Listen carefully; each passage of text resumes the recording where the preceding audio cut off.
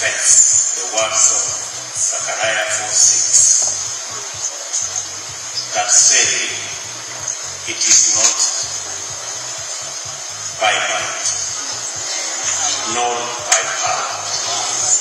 It is by my spirit, so says the Lord.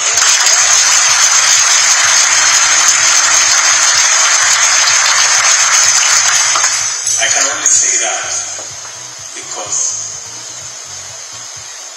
the men of God in our nation, the army of believers, stood in the gap for our nation.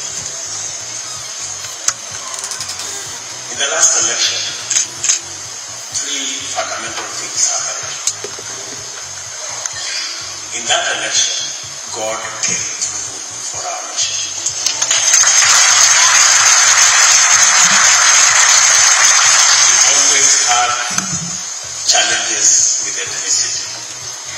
But in the last election, the people of Kenya stood firm and we voted an election that ended ethnicity in our country.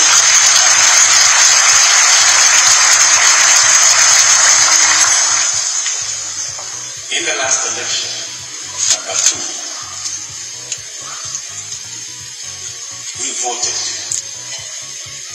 Let me say this the last election was as close as the one in 2007 2008.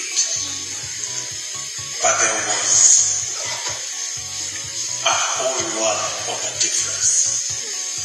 In the last election, God gave us the grace, and now we have set a new standard as the people of Kenya that we can vote